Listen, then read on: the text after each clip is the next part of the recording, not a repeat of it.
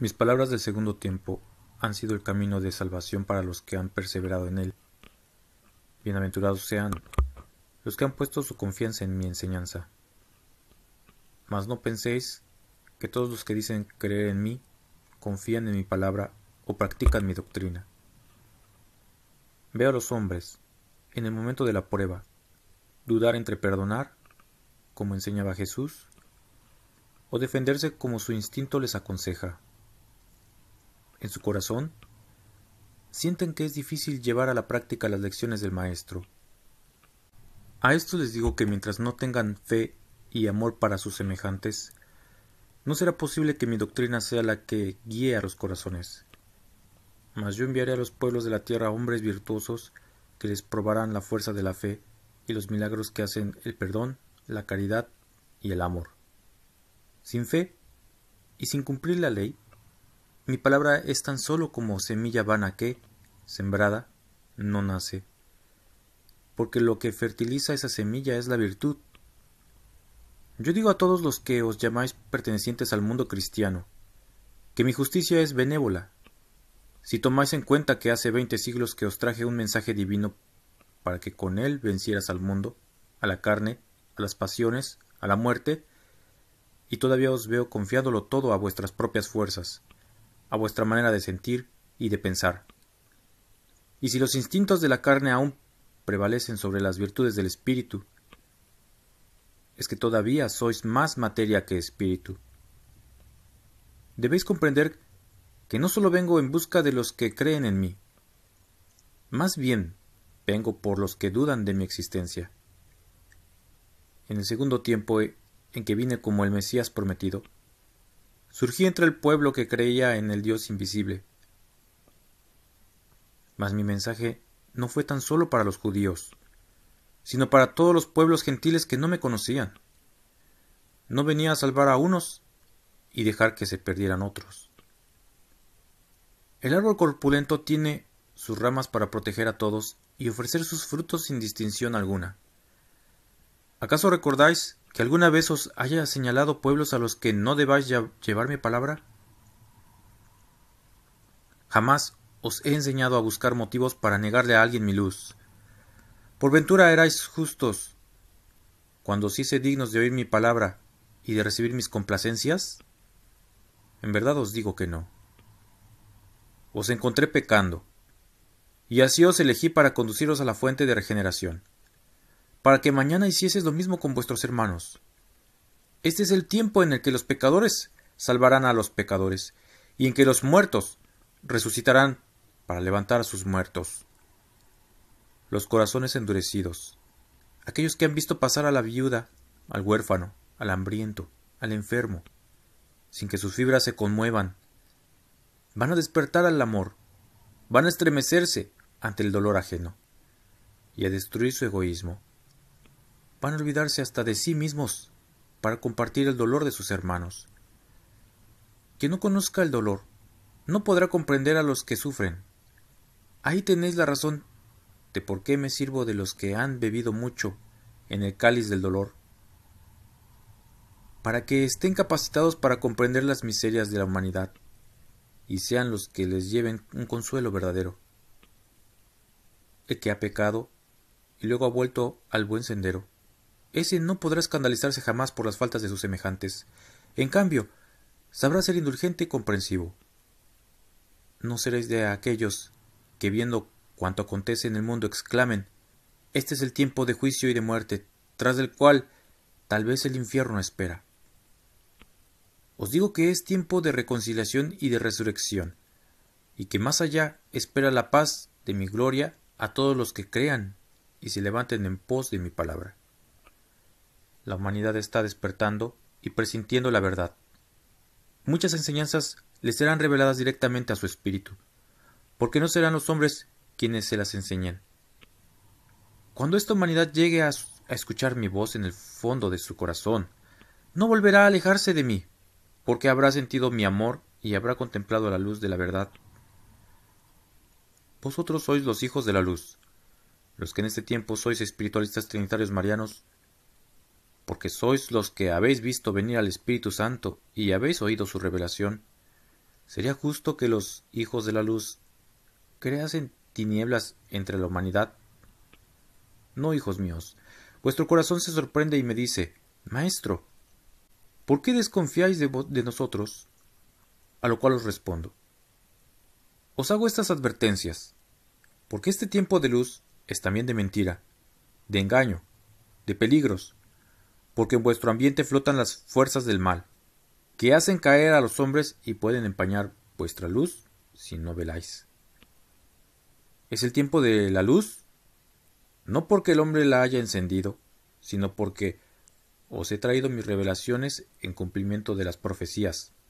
Es el tiempo de la mentira, mas no por causa de mi llegada entre los hombres, sino por la maldad de ellos. Es que ha alcanzado su mayor altura. La batalla final se acerca, mas no hablo de vuestras guerras fraticidas, sino de la lucha de la luz contra todo lo que sea falso, impuro, imperfecto.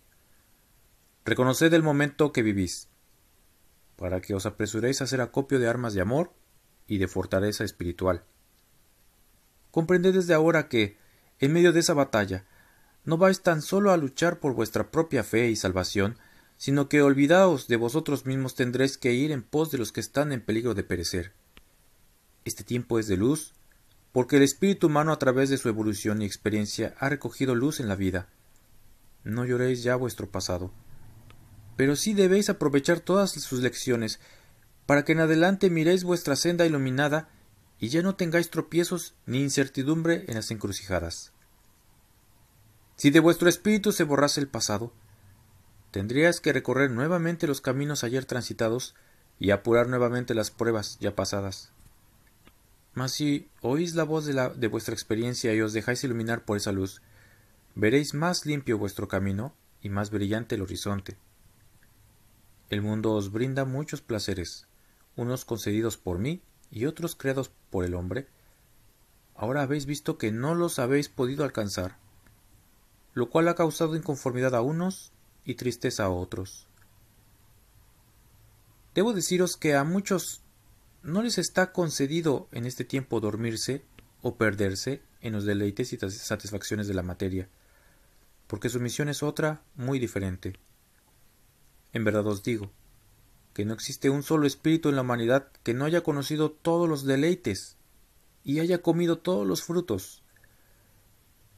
Hoy vino vuestro espíritu a gozar la libertad de amarme, y no a ser de nuevo esclavo del mundo, del oro, de la lujuria o de la idolatría. La escala del sueño de Jacob se presenta ante vuestros ojos para que ascendáis por ella en busca de vuestra mayor dignidad y de vuestra perfección, mi ley espiritual no os exime de vuestros deberes terrestres. Tenéis que buscar la forma de armonizar ambas leyes para que vuestro cumplimiento sea perfecto ante mi divinidad y ante el mundo. Quiero que mis discípulos aprendan a vivir en armonía con toda la creación, que marchen al compás de los tiempos, para que lleguen hasta el final en la hora propicia, en la hora señalada por mí, para que al haceros el llamado ya estéis presentes y podáis responderme. Espíritu de verdad y de consuelo, 1866-1950, Nación Mexicana. Bienaventurados los que practican la oración espiritual, porque ellos sienten mi presencia. Mas de cierto os digo que yo recibo todas las oraciones, sea cual fuere la forma que las elevéis a mí.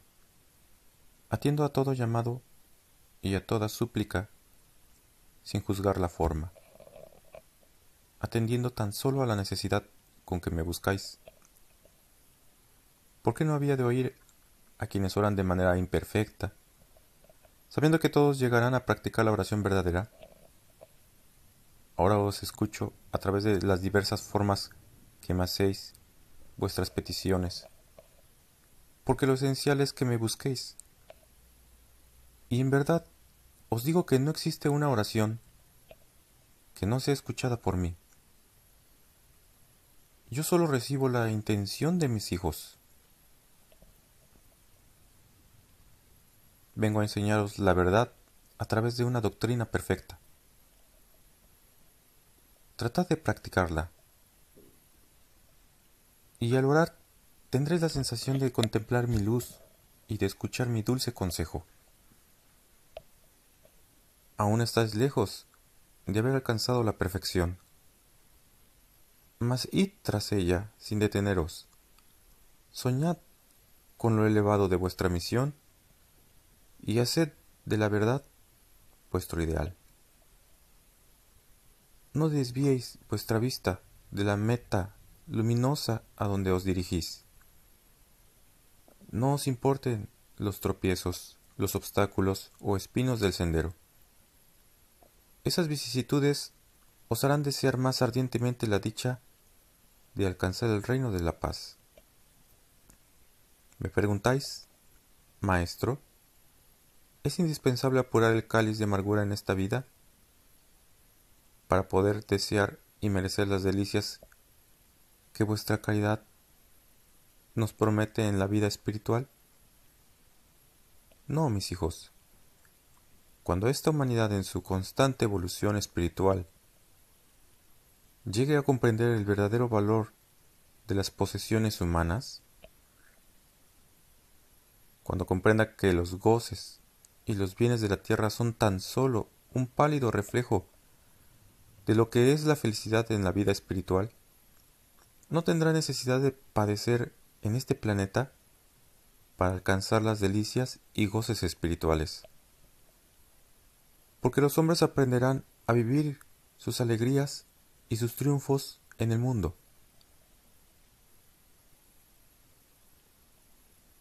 sin aferrarse a lo perecedero y lucharán por conquistar con méritos espirituales la vida superior que inexorablemente les espera, la vida verdadera.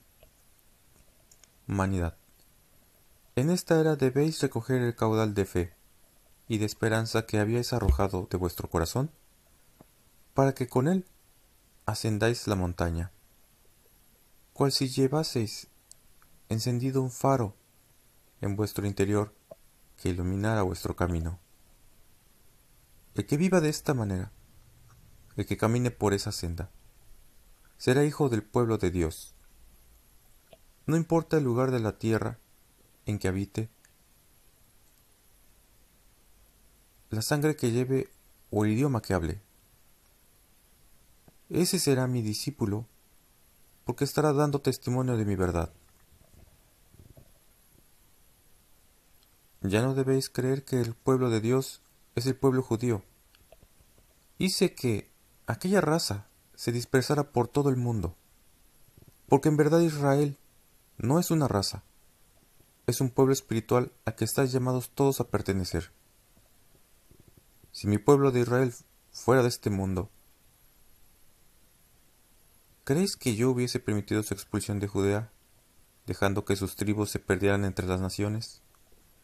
¿Creéis que si esa fuera la verdad, habría yo permitido que el templo de Salomón fuese destruido y profanado, y la ciudad de Jerusalén arrasada e incendiada hasta no quedar de ella piedra sobre piedra? Meditad en todo esto, para que comprendáis que el reino espiritual no puede tener sus cimientos en este mundo. Por eso os dije a través de Jesús, mi reino no es de este mundo.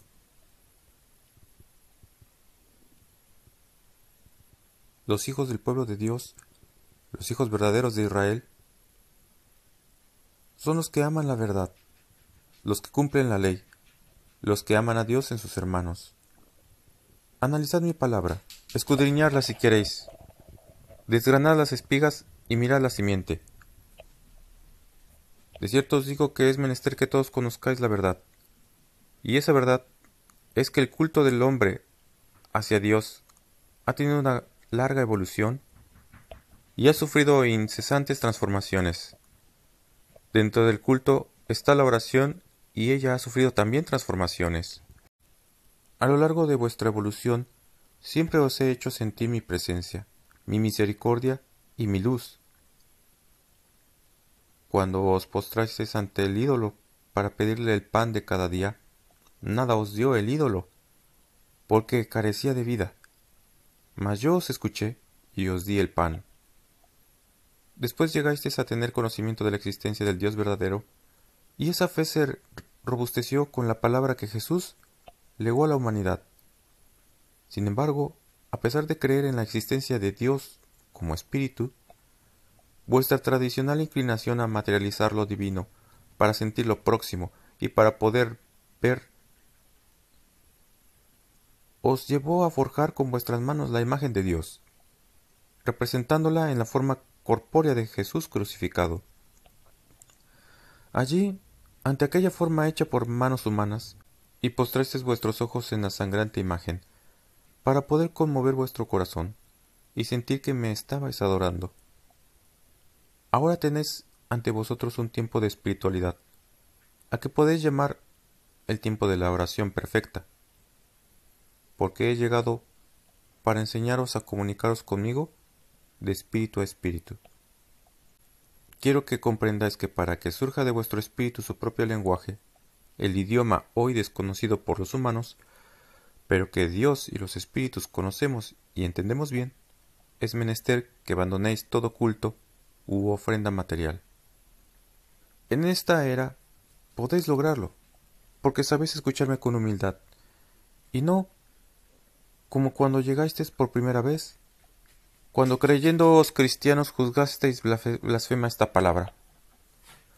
Hoy comprendéis y aceptáis mis lecciones, convencidos de que hasta ahora estáis aprendiendo a ser verdaderamente cristianos, ya que estáis reconociendo la forma de aplicar aquella enseñanza a vuestra vida, y además estáis viviendo un nuevo tiempo que viene a traeros un destello de la misma luz, un mensaje de espiritualidad. En aquel tiempo os enseñé la virtud más grande, que es la caridad. Inspiré vuestro corazón y sensibilicé vuestros sentimientos. Ahora vengo a revelaros todos los dones de que está dotado vuestro espíritu para que los desarrolléis y los apliquéis hacer la caridad entre vuestros semejantes. El conocimiento de la vida espiritual os permitirá llevar a cabo obras semejantes a las que hizo vuestro Maestro. Recordad que os he dicho que al desarrollar vuestras facultades haréis verdaderos prodigios. Todo lo que habéis escuchado quedará escrito para que sea analizado en los tiempos venideros. Os legaré un libro que contenga la esencia de todas mis enseñanzas. Este libro será formado con las páginas que bajo mi dictado han escrito mis escogidos a quienes llamo plumas de oro. Esa pluma es la de la conciencia y la verdad, aquella que puse en la diestra de Moisés para que escribieses los libros de los primeros tiempos, la misma que deposité en las manos de Marcos, Lucas, Mateo y Juan, para que escribiesen la vida y la palabra del Divino Maestro, libro al que llamasteis Nuevo Testamento. A vosotros, nuevos discípulos que habéis escuchado mi palabra en este tiempo, os digo, no tendréis que luchar para que este testamento o libro sea unido a los anteriores, porque he sido yo quien ha unido en este libro las revelaciones y enseñanzas de los tres tiempos, extrayendo de ellas la esencia para formar una sola doctrina, una sola luz, una sola ley y un solo mensaje. No os preocupe demasiado si mis frases no permanecen en vuestra memoria, porque el que sienta caridad por sus semejantes será dueño de un idioma inagotable, el del amor, que será comprensible para todos sus hermanos. Os he manifestado que no todos me escucharán bajo esta forma, porque no es la más perfecta mas se aproxima el día en que mi voz sea escuchada por todos los hombres a través de mi comunicación espiritual. Será el tiempo que predijeron los profetas, en que todo ojo me verá, y todo oído me escucharía. Ved cómo la enseñanza divina no se estaciona. De tiempo en tiempo vengo a daros nuevas lecciones que explican y amplían las anteriores. Al oírme en este tiempo, no hagáis lo que los fariseos, que se escandalizaban con las obras de amor de Jesús, al sanar a los poseídos, y pregonaban que aquel hombre, de quien los humildes decían que era el Hijo de Dios, Era un falso profeta que venía predicando enseñanzas contrarias a la ley de Moisés. No digáis que esta doctrina viene en contra de lo que os dejó Jesús en aquel tiempo. Si queréis emitir un juicio acertado acerca de esta enseñanza, limpiad antes vuestro corazón de prejuicios, de bajas pasiones, de fanatismo, y entonces sí, tomad una de mis máximas, cualquiera de ellas, analizadla, y veréis la luz que encierra y cuánto os ayuda a llegar a mí. Espíritu de verdad y de consuelo, 1866-1950, Nación Mexicana. Me agrada sorprenderlos en la forma más inesperada, para poner a prueba la fe de vuestro corazón. Me place probar vuestra fortaleza para que deis ejemplo a vuestros hermanos. Existe en vuestro espíritu la simiente de Jacob, a quien llamé Israel, que quiere decir fuerte. Aquel patriarca fue sometido por mí a grandes pruebas para que diese grandes ejemplos. Yo le envié un ángel para que luchara con él, y el brazo fuerte del varón no se dejó vencer. Desde ese instante le nombré Israel, y por ese nombre fue conocido por la posteridad.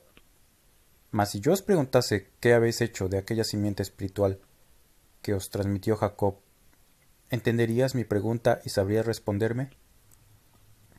A vuestro paso se han presentado mis ángeles para luchar con vuestras imperfecciones, y no les habéis sabido recibir. Os han sorprendido los seres en tiniebla y habéis sido débiles ante ellos. Os vuelvo a interrogar. ¿Dónde está la espada de Jacob, su celo y su fortaleza? Os he, concedido la presencia de los seres de luz en vuestra vida terrestre para que os protejan, os ayuden y os inspiren. Ellos, que se encuentran más evolucionados que vosotros, deciden a cumplir un destino de amor, una misión de sembrar caridad y bálsamo entre sus hermanos. Los seres en tiniebla o espíritus en estado de turbación involuntariamente cumplen la misión de probar a los hombres en su fe, en su virtud, en su firmeza en el bien, y cuando al fin son vencidos por la fortaleza y perseverancia en el bien que aquel a quien han tentado reciben la luz y renacen a la vida y al amor. A vosotros, discípulos, os he dado sensibilidad para que podáis percibir la presencia de vuestros hermanos. El que no posee el don de evidencia, tiene el de revelación, o posee la facultad en su cerebro para recibir al mundo espiritual, o por lo menos tiene el don del presentimiento. Pero os ha faltado mayor amor para desarrollar vuestros dones. Por eso os aconsejo que viváis alerta, para que escuchéis la voz del pastor y de los guardianes que os cuidan. El lamento de las ovejas o los pasos del lobo que acecha entre la maleza. No durmáis en este tiempo de acechanza y peligros, de abismos y tentaciones. Comprended que todo aquel que posea un don o la misión de dar luz espiritual tendrá que ser asediado y perseguido de continuo. No vengo a despertar prejuicios ni supersticiones en mi pueblo. Vengo a fortalecer vuestra fe en la existencia de lo espiritual, para abrir vuestros ojos a lo eterno y entonces podáis mirar más allá de lo que es materia, y para que sepáis que no todo lo que existe en el valle espiritual está envuelto en luz, porque también en lo invisible existen tinieblas, que es preciso disipar, e imperfecciones, que es menester se transformen en elevada espiritualidad. Un hombre entregado a una vida de pecado es capaz de arrastrar tras de sí una legión de seres en tiniebla, que harán que a su paso vayan dejando una estela de influencias maléficas. Pueblo, perseverad en mi doctrina, y de cierto os digo que tres generaciones después de la vuestra, el espíritu de vuestros descendientes habrá logrado una gran espiritualidad. Buscad la verdadera elevación y después lo hará toda la humanidad, porque vuestro mundo no está condenado a ser eternamente un valle de lágrimas, una tierra de pecado, un infierno de lujuria y de guerra. El día del Señor es ya con vosotros. Mi espada de justicia tocará la perversidad. ¿Qué pasará si destruyo la mala simiente, el vicio y el orgullo, y en cambio ofrezco protección a la semilla de la paz, de la concordia, de la regeneración y de la verdadera fe en mí? Tendrá que transformarse el mundo. El hombre se transformará una vez que su culto espiritual y su vida sean mejores. Llegará el tiempo en el que se levanten hombres que verdaderamente amen mi ley, los que sabrán unir la ley espiritual con la del mundo, o sea, el poder eterno con el poder temporal. Mas no será para esclavizar a los espíritus como en tiempos pasados, sino para mostrarles el camino hacia la luz, que es la verdadera libertad del espíritu. Entonces volverá la moral al seno del hogar, habrá verdad en vuestras instituciones y espiritualidad en vuestras costumbres. Será el tiempo en que la conciencia haga oír su voz y en que mis hijos se comuniquen de espíritu a espíritu con mi divinidad. En que las razas se fusionen y todo ello determina la desaparición de muchas diferencias y contiendas, porque hasta ahora, a pesar de ser tan pequeño vuestro mundo, no habéis sabido vivir como una sola familia, no habéis podido rendirme un solo culto. La antigua Babel os condenó a esta división de pueblos y de razas, mas la construcción de mi templo espiritual en el corazón de la humanidad os librará de esa restitución y os llevará a amaros verdaderamente los unos a los otros. No penséis que a última hora elegí esta nación para mi nueva manifestación, todavía ha sido previsto desde la eternidad. Este suelo, esta raza, vuestros espíritus, habían sido preparados por mí, así como en el tiempo de mi presencia también había sido marcado por mi voluntad. Yo dispuse iniciar mis manifestaciones entre los más humildes, entre aquellos que conservaban virgen el entendimiento y el espíritu. Después dejé que a mí viniesen todos, porque en mi mesa no existen distinciones ni preferencias. Mi palabra derramada sobre este pueblo ha sido sencilla y humilde en su forma, al alcance de vosotros y su sentido, lleno de claridad. Ha sido profundo para vuestro espíritu porque yo, aunque soy el arcano, siempre me manifiesto y me expreso con sencillez y claridad. Yo no soy un secreto para nadie. El secreto y el misterio son hijos de vuestra ignorancia. También en este tiempo surge Tomás, con la duda en su corazón. ¿Qué más esperáis ver y oír para poder creer? ¿Acaso creéis que Cristo se haga hombre nuevamente para vivir entre vosotros? ¿Acaso queréis que Cristo se haga hombre nuevamente para vivir entre vosotros? Devolvedme el cuerpo que me quitasteis sacrificándolo en la cruz, y os prometo volver en cuanto hombre. ¿Podéis hacerlo? No. En cambio, yo os he encontrado muertos a la luz y a la fe, y os he resucitado espiritualmente. Habíais perdido vuestro cuerpo en las entrañas de la tierra, y yo os he dado uno nuevo. Solo yo puedo hacer estas maravillas. Mas en verdad os digo que la vida que a Jesús arrancasteis en el Calvario se extendió sobre toda la humanidad como un rocío de vida verdadera. Por eso os digo que vosotros sois mi templo, ese santuario que existe en vuestro espíritu y que es en donde busco vuestra adoración, donde quiero que mi voz encuentre su eco, donde quiero que se levante mi altar y donde yo pueda habitar por siempre. Toda mi doctrina y mi ley no son sino una preparación para que penetréis en la vida espiritual. ¿Cuántos de los que me han escuchado en este tiempo ya se encuentran morando en el más allá, llenos de gozo en, en su espíritu? Porque no sufrieron tropiezos en su tránsito hacia aquel mundo infinito? Mientras muchos hombres, escépticos en su materialismo, sonríen irónicamente cuando se les habla de la vida espiritual. Mas llegará la hora de la muerte, aquella en la que no hay corazón que no tema, ni espíritu que no tiemble ante la presencia inminente de la eternidad. ¿Dudáis de llegar a tener la inocencia de un ave o la belleza de una flor? Porque solamente os juzgáis a través de vuestra pobre indumentaria o por algún defecto físico de vuestra envoltura. Mas no miráis al espíritu, a ese ser dotado de belleza y gracia celestial. El espíritu es luz, inteligencia, amor, sabiduría, armonía, eternidad, y de todo esto carecen las aves y las flores. Buscad la belleza del espíritu. Ella será en vosotros como un espejo que refleje fielmente la faz del Creador. No os afanéis tanto por vuestra belleza exterior, aunque sí os digo que no descuidéis nada de vuestro ser. La limpieza del cuerpo no está en contra de la espiritualidad. Mas no olvidéis que el espíritu está antes que el cuerpo. Recordad que a tiempo os dije, limpiad el vaso por dentro y por fuera. Si alguno llegara a pensar que es demasiado simple mi palabra para venir de Dios, yo le digo que tome en cuenta que son los sencillos y los rudos los que han venido a oírme, y debo hablarles a ellos en, forma que me entiendan. Mas si queréis ideas y conceptos más profundos, os digo a todos los que han juzgado pobre mi manifestación, que se preparen y se comuniquen de espíritu a espíritu con mi divinidad, que es lo que estoy esperando de los hombres, y entonces a sus mentes vendrá una inspiración tan profunda que tendrán que decirme que no les hable en esos términos que tan solo Dios puede entender. Nuevamente os digo, como en el segundo tiempo, os he entregado lecciones terrenales y no creéis. ¿Cómo creeríais si os diera las celestiales?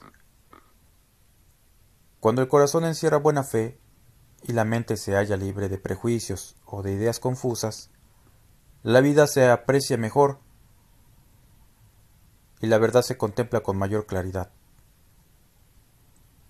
En cambio, cuando el corazón se, llena de escepticismo o vanidad y errores en la mente, todo parece confuso y hasta la misma luz parece tiniebla. Buscad la verdad, ella es la vida.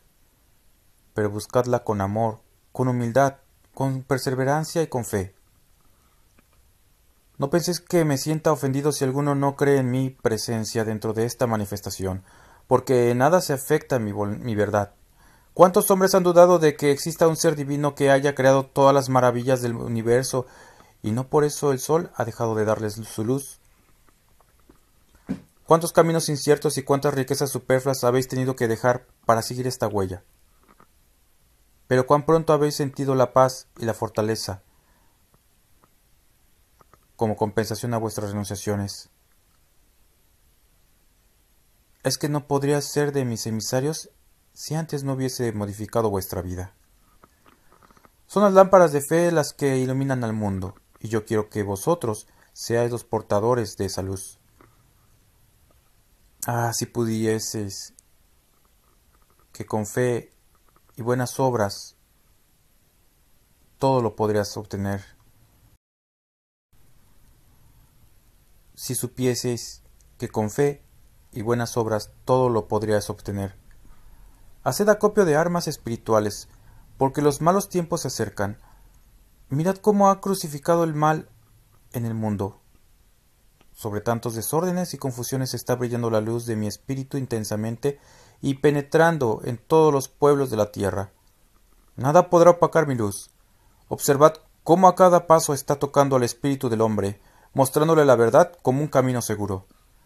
Es necesario que sepáis que esta vida os ha sido dada para que vuestro espíritu logre dar un paso hacia, adelante en la escala de perfeccionamiento y adelanto. Mas no basta que estas enseñanzas las conozca el espíritu, si al tratar de revelárselas a la carne no es oído. En este tiempo los corazones son tierras áridas, en las que el espíritu no ha podido hacer germinar su semilla. Y es por eso que yo, sabiendo hace mucho que la humanidad habría de llegar a este grado de materialismo, os hice la promesa de volver, promesa que estoy cumpliendo entre los hombres. He llegado como el divino sembrador en busca de vuestro espíritu perdido entre las sombras del pecado para depositar nuevamente en él la simiente del amor y decirle que la siembre y cultive en el corazón que se le ha confiado. Hoy tenéis la misión de hacer la paz entre los hombres, de llevarlos a la reconciliación, de inspirarlos a amarse los unos a los otros, porque en el fondo de esa sublime misión existe una antigua deuda que tenéis contraída con vuestro Señor y con vuestros hermanos de los distintos pueblos de la tierra, ¿Quién sabe lo que sembró en los tiempos pasados? ¿Quién conoce sus obras en, vidas anteriores? ¿No ha bastado la intuición que vuestro espíritu ha derramado en vuestra materia para hacerse presentir y con ello aceptar vuestra restitución? He tenido que humanizarme haciéndonos escuchar mi voz a través del hombre para haceros mirar con claridad todo lo que os habéis obstinado en ver como misterio y que es tan natural como lo es para el cuerpo nacer crecer y morir. Si vuestra ciencia os va revelando los profundos misterios de la vida, porque una ciencia superior, como la es mi sabiduría divina, no habría de venir a iluminaros con el conocimiento de la vida espiritual y eterna. He empezado por haceros saber quién, quiénes habéis sido y quiénes sois, para luego daros una idea de quiénes seréis. Creced y multiplicaos, dije al hombre al hacerse aparecer sobre la tierra. Palabras semejantes le dije a vuestro espíritu cuando le hice surgir a la luz de la vida. Conociendo ya esto, ¿quién puede saber hasta dónde puede llegar el espíritu en su elevación? ¿Quién de vosotros puede imaginar hasta dónde han llegado en su perfeccionamiento los que más se han acercado a mí? El espíritu es como una semilla que he depositado en cada hombre. Amadla, dejadla crecer, cuidadla. Ella germinará en vosotros y se multiplicará en virtudes y perfecciones que serán para vuestra dicha y para gloria de quien nos dio la existencia. Desde lo perfecto desciendo por la escala de evolución espiritual que le fue mostrada a Jacob en una revelación, para que en cada morada sea escuchada mi voz. Que no espere el mundo un nuevo Mesías. Si os prometí volver, también os di a entender que mi venida sería espiritual. Mas la humanidad nunca ha sabido prepararse para recibirme. En aquel tiempo los hombres dudaron de que Dios pudiera ocultarse en Jesús, a que juzgaban un hombre igual a los demás, y tan pobre, como el más. Sin embargo, después, y ante las obras poderosas de Jesús, la humanidad se convenció de que en aquel hombre que nació, creció y murió en el mundo, estuvo el Verbo de Dios. Y sin embargo, en este tiempo, muchos hombres solo aceptarían mi venida si fuese humanizada, como en el segundo tiempo. Las pruebas de que vengo en espíritu a comunicarme con la humanidad no serán por todos aceptadas, a pesar de los testimonios, porque el materialismo será como venda de oscuridad ante los ojos de algunos. ¿Cuántos quisieran volver a ver a Jesús padecer en el mundo y recibir de él el milagro? Para creer en su presencia o en su existencia. Mas de cierto os digo que en esta tierra no volverá a haber un pesebre que me vea nacer como hombre, ni otro Gólgota que me vea expirar. Ahora me sentirá nacer en su corazón, todos los que resuciten a la vida verdadera, como también me sentirán morir en su corazón todos los que se obstinen en el pecado. Trasladad de lo material a lo espiritual y de lo humano a lo divino, cuando hizo Jesús en aquel tiempo, y tendréis su pasión presente en vuestra vida. Todo cuanto miráis que acontece en este tiempo, tanto en lo espiritual como en lo material, ya había, había sido anunciado. Hubo hombres en los tiempos pasados que predijeron todo lo que vive en, este, en estos instantes la humanidad. Esos hombres fueron mis profetas, hijos de la luz, que amonestaron a los pueblos para que encauzaran sus pasos por los caminos del bien. Aquellos profetas predijeron las tinieblas de la desolación y de la destrucción a causa de la indiferencia de la humanidad ante los llamados de su Señor. Ahora podéis preguntaros los que os sentís indignos de mi gracia, cómo es que ha habido hombres a quienes Dios les ha mostrado su luz y les ha hecho oír su voz al comunicarles sus mensajes y, en cambio, se ha ocultado a la mirada de la mayoría de sus hijos? A lo cual yo respondo que esos hombres que han logrado comunicarse con mi espíritu no han gozado de ningún privilegio, solamente han procurado conservar la luz de su espíritu con pureza a fin de permitir que el pensamiento e inspiración de Dios se reflejen en su mente. No os dije por boca de uno de esos iluminados que llegaría un tiempo en que todo ojo me vería. Ahora os digo que ese tiempo será aquel en que los hombres preparen su camino para sentir mi presencia.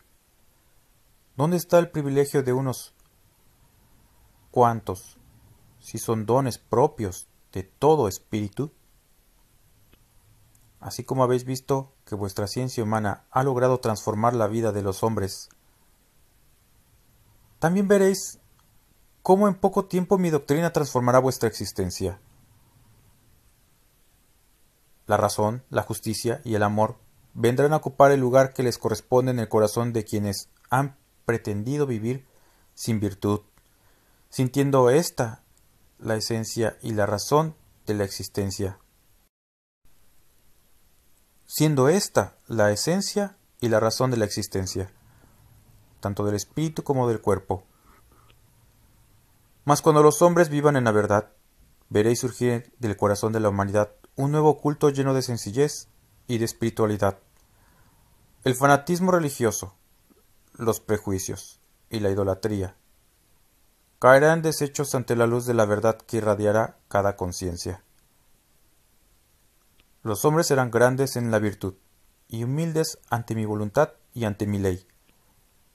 Y los que se han creído dioses en la tierra, porque sólo han buscado poderío terrestre, menospreciando las joyas del espíritu, tendrán que pasar por grandes pruebas. Todos los hombres saben que soy el Padre de todo lo creado y que el destino de los seres está en mí. Sin embargo, no he recibido de ellos su atención ni su respeto.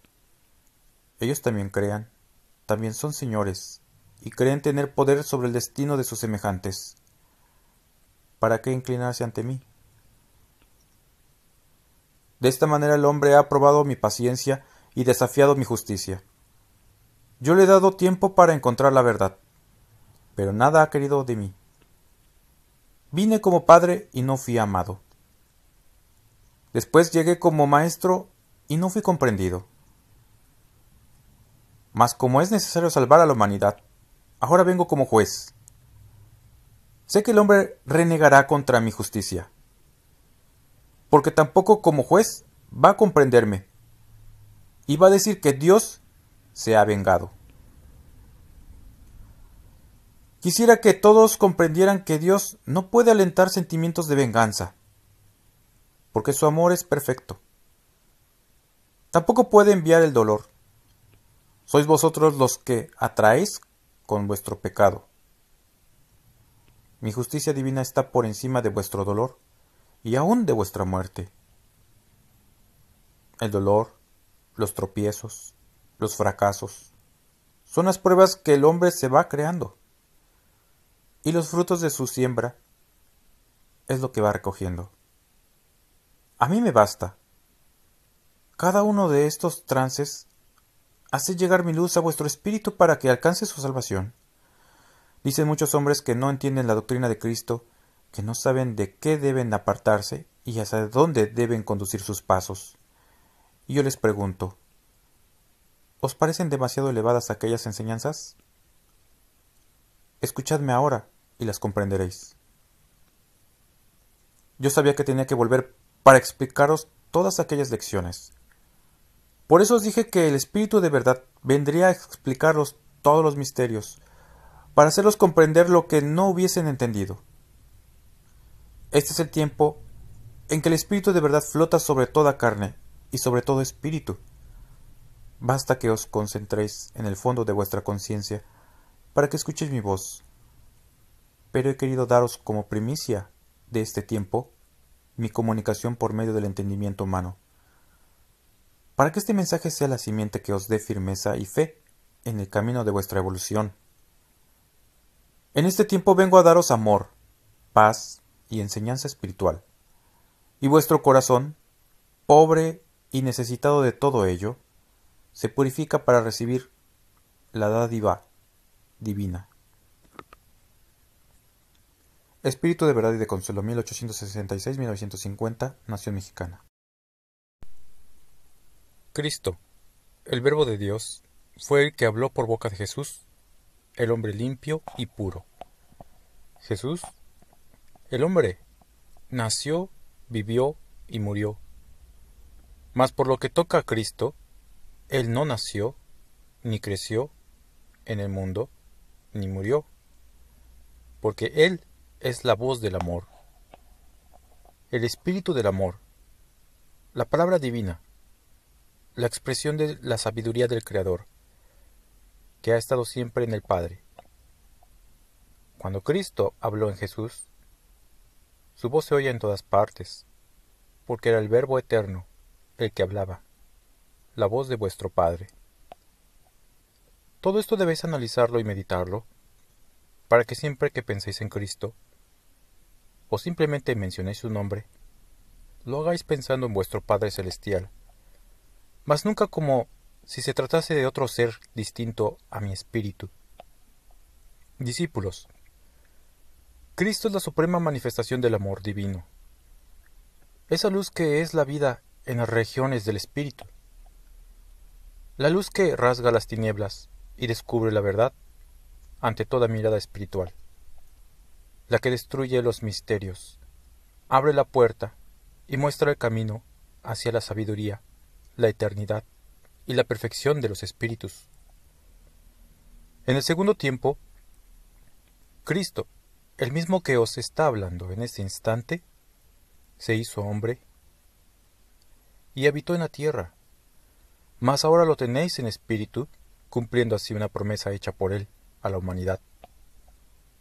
La de venir en un nuevo tiempo a traeros el supremo consuelo y la luz de la verdad esclareciendo y explicando todo cuanto a los hombres les había sido revelado. En lo divino, mirad a un solo espíritu que se ha mostrado ante vosotros a través de fases diferentes, pero siempre manifestando su justicia, poder y perfección.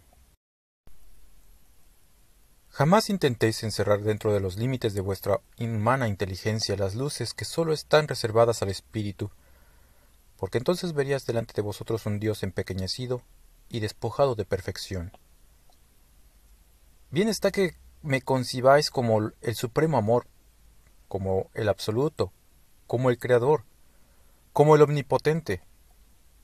Pero comprended que debéis buscar la inspiración espiritual para encontrar expresiones más profundas al hablar de vuestro Señor.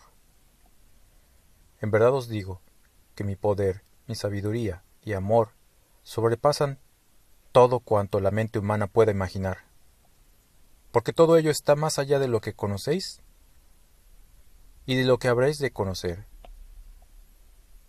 Vengo preparando el futuro de vuestros espíritus. Por eso la paja está siendo quemada en el fuego de la justicia divina, no habiendo para vosotros sino dos caminos. Uno, el de la espiritualidad.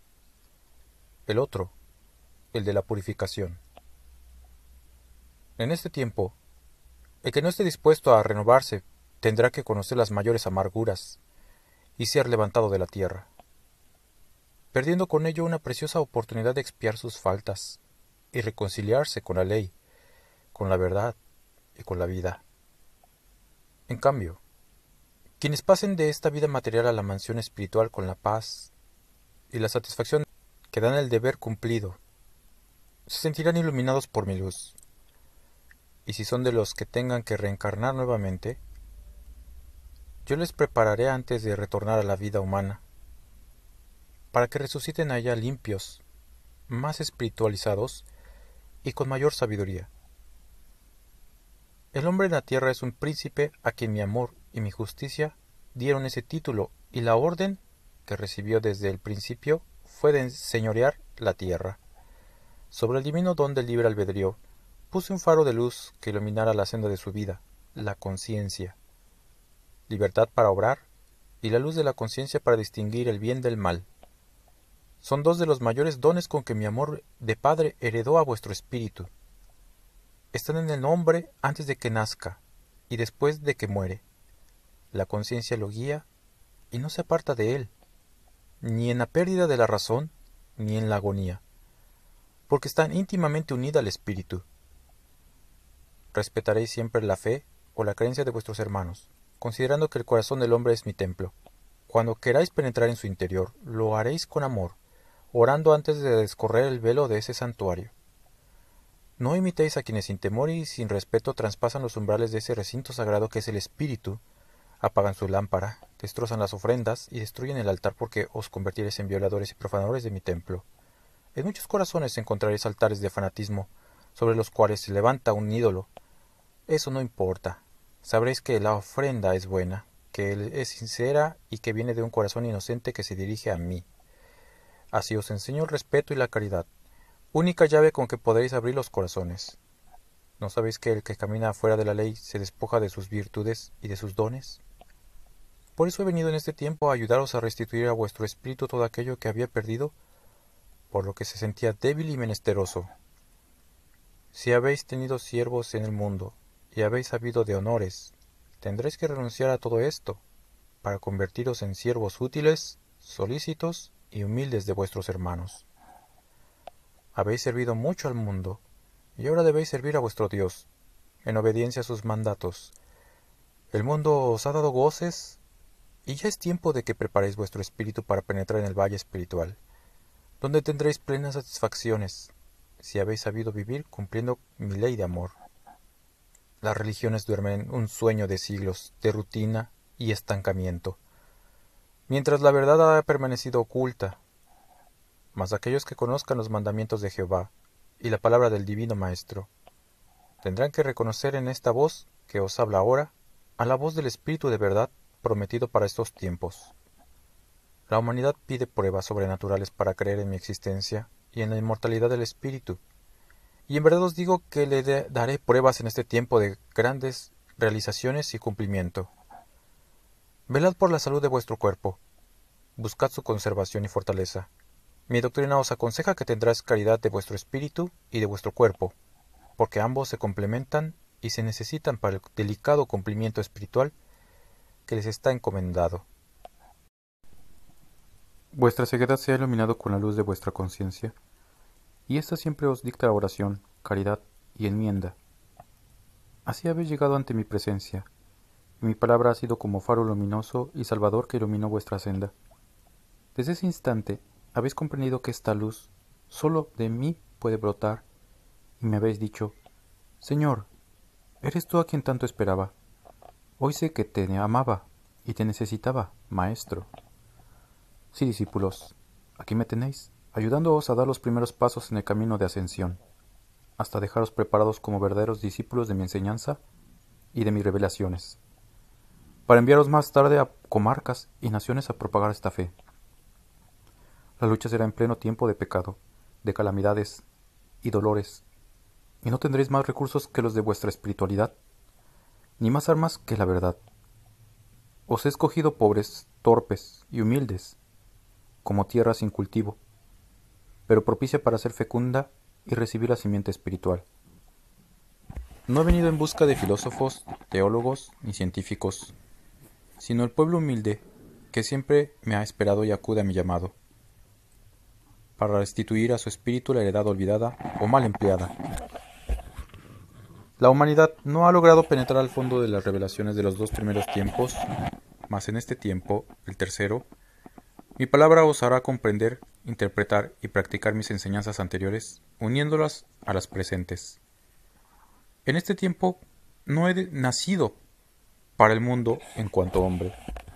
He llegado a vosotros en la luz de mi espíritu hecha palabra humana, y en esta os doy mi esencia, para levantar la fe en vuestro corazón.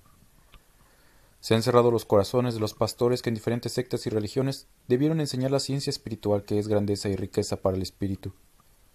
He mirado que la ley y doctrinas que legué a la humanidad en tiempos pasados se encuentran ocultas y han sido sustituidas por ritos, cultos exteriores y tradiciones. Mas vosotros, que reconocéis íntimamente que la esencia de esta palabra es la misma que recibió Israel en el monte Sinaí, y la que escucharon las multitudes en labios de Jesús en el segundo tiempo, seréis los que, con vuestro culto y vuestras obras, enseñéis que la ley divina no debe olvidarse por cumplir con necias tradiciones que no benefician al espíritu. Las nuevas generaciones ya no me escucharán bajo la forma que ahora presenciáis, porque el término señalado por mí, en que dejaré de manifestarme así, se acerca. Es 1950.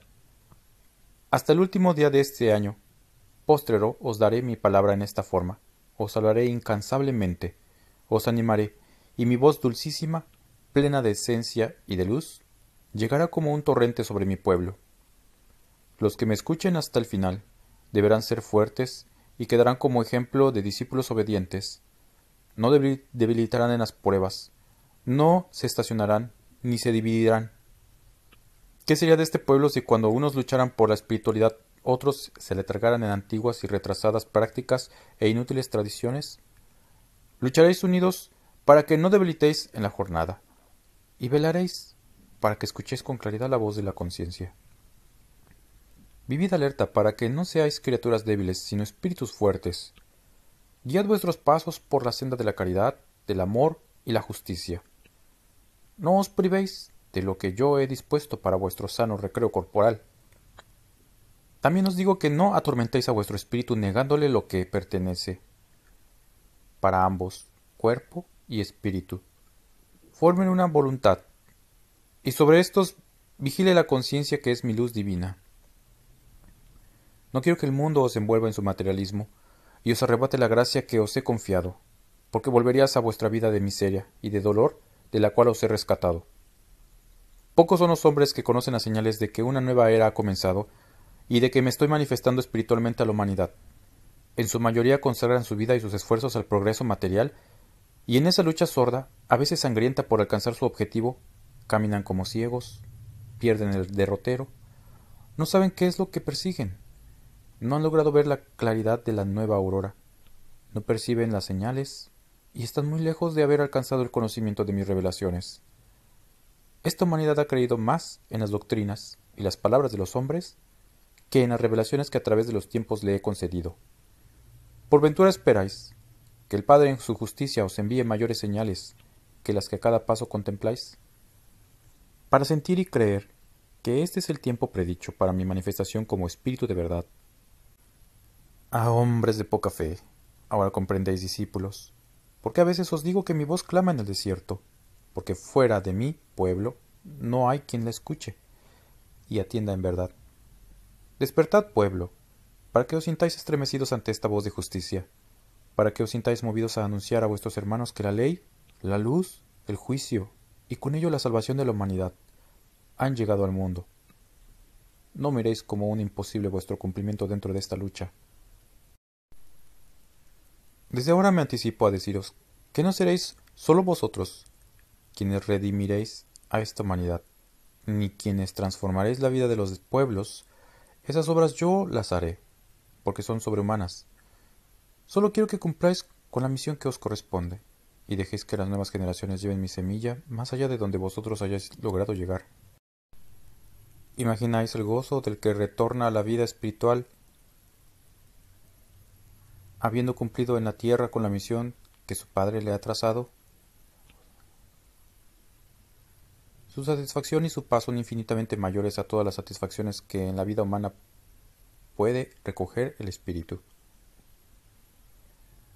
Yo acudo presuroso al escuchar vuestras voces de auxilio, cuando lucháis como náufragos contra las embravecidas olas de ese mar de pasiones en que navega la humanidad en este tiempo.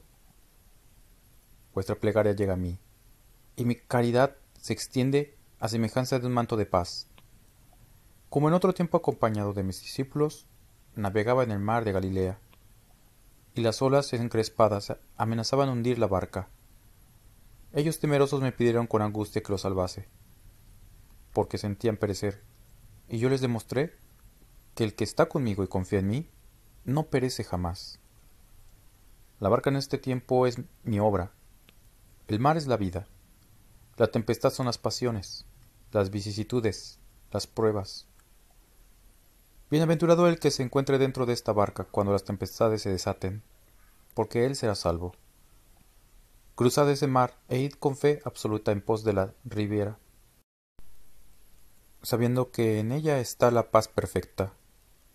¿Quién podrá perderse en esta travesía si navega guiado por la brújula de su conciencia?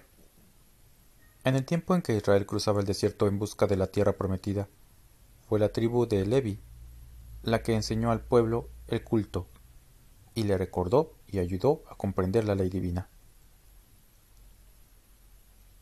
Ya establecidas las tribus en la tierra que habían conquistado con su fe y perseverancia, siguió siendo la tribu de Levi la que veló por la ley.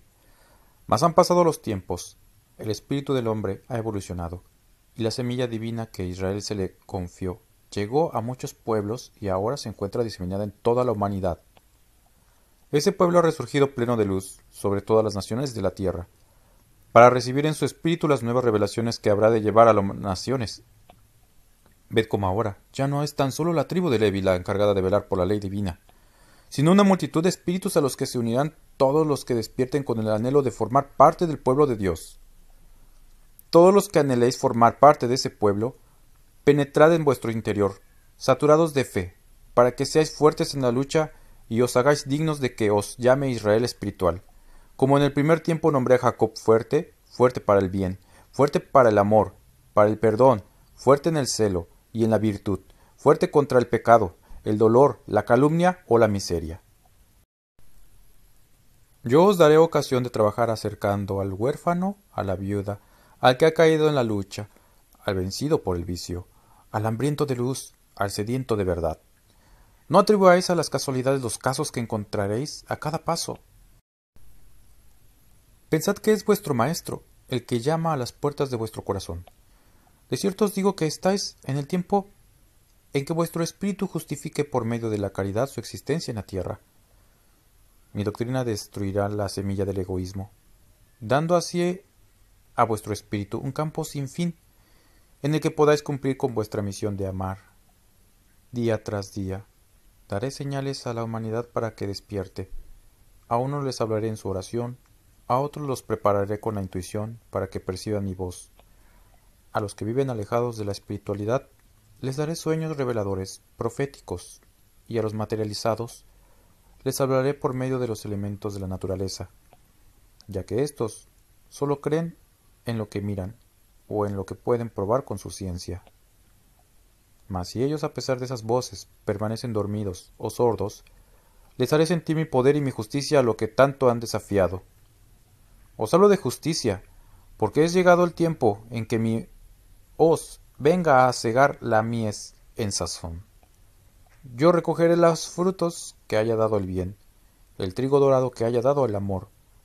Todo lo demás será exterminado, los frutos del pecado y la malla hierba del egoísmo, del odio y del orgullo caerán abatidos bajo el filo inexorable de la hoz de mi justicia. Vengo a tiempo para cegar.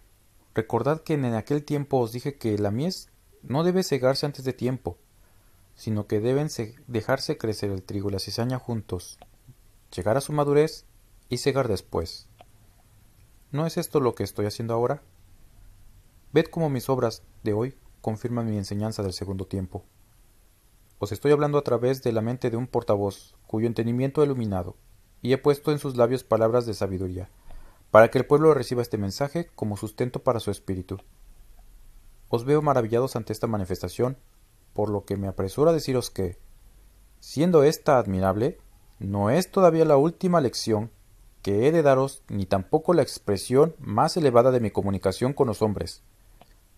Tomad esta manifestación tan solo como una página del libro de la sabiduría espiritual, que es promesa de las nuevas revelaciones que habré de daros. El libro está delante de vuestra conciencia, es mi sabiduría, y de ese libro se desprenden torrentes de luz que bañan vuestro ser. Siempre he venido a buscaros porque vuestro espíritu una vez encarnado se ha internado por diversos senderos, en los que la mayor parte de las veces se ha perdido. Ah, criaturas débiles que habéis caído por vuestra causa y después me habéis culpado diciendo que el camino de los hijos de Dios está lleno de tentaciones. Yo os digo que aquí donde creísteis ver muchos senderos, solo debisteis tomar uno, el que conduce a mí. Que donde mirasteis tentaciones, solo eran frutos que había de tomar con conocimiento y respeto. ¿Podéis concebir que vuestro Padre haya creado algo que tuviera como fin el de tentaros para pecar? Mañana, cuando la humanidad se libere de su fardo de ignorancia y de materialismo, encontrará que aquello que consideró como un tropiezo fue tan solo un peldaño para que su espíritu ascendiera y tuviera experiencia, y lo que creyó que era un abismo no era sino una prueba para fortalecerle. Entonces descubrirá que lo que el hombre ha considerado como motivo de sus caídas y de sus errores son los medios para ayudarle en su perfeccionamiento. Ante estas enseñanzas desaparecerá del corazón humano todas las supersticiones que ha creado en torno del mal. Cuánta fuerza y cuánta belleza descubrirá cuando abra sus ojos a la luz de esta vida. Todo lo que su ignorancia le hizo interpretar indebidamente, haciéndole caer en errores y culpando de ello a quien creó a todos los seres, desaparecerá de la mente del hombre. Mientras la humanidad no comprenda la verdadera ley espiritual o sintiéndose atraída hacia ese camino caiga en fanatismo religioso, tendrá que encontrar su vida llena de tropiezos, de incertidumbre y de sombras. Cuando penetréis, cuando penetraréis en el estudio de mi doctrina, que es como un sol divino que ilumina al espíritu y no se oculta jamás?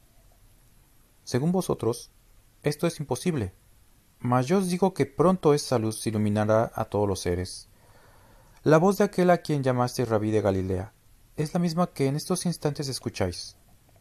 Y si en aquel tiempo os dije, no sólo de pan vive el hombre, sino de toda palabra que viene de Dios, ahora me acerco para deciros que no sólo de ciencia o de conocimientos humanos debe sustentarse el hombre, sino de esencia divina, porque en él habita el espíritu que sólo se alimenta de amor, de sabiduría y de paz.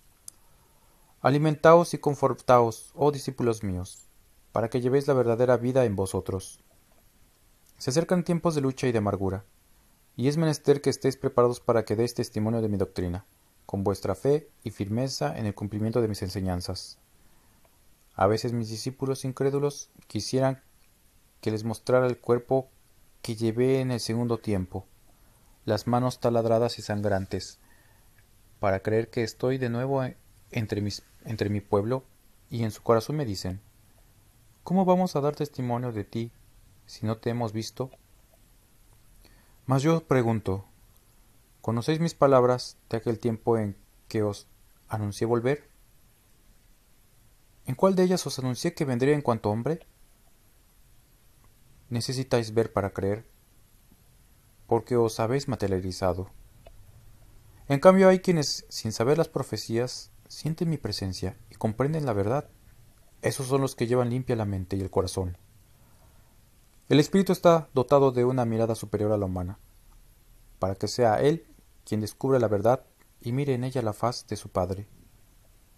¿Cómo queréis descubrir con vuestros sentidos materiales lo divino, si antes no lo ha presentido vuestro espíritu? No son estas palabras un reproche a vuestra escasa fe, ni os rechazo porque dudáis. Por el contrario, son precisamente esas lámparas apagadas las que vengo buscando para encenderlas con el fuego de mi amor, de mi espíritu. La virtud se manifiesta solamente en la prueba. La luz brilla más en las tinieblas. La luz no brilla en la luz. Así será menester que vuestro espíritu fuera probado y acrisolado, porque vuestro espíritu tuvo principio y en su inocencia careció de méritos, careció de experiencia, de desarrollo y de perfección.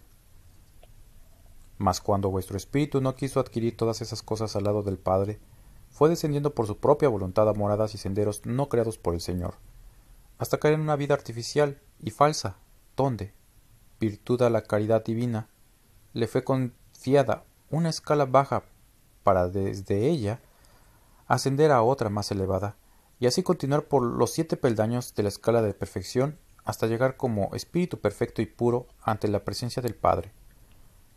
Lleno de luz, evolucionado mediante el desarrollo de todos sus dones, perfeccionando en todas sus potencias, colmado de méritos en la lucha, pleno de conocimientos de sí mismo, de su Padre y de la vida, consciente de dónde había brotado, del por qué había sido creado y a dónde había llegado.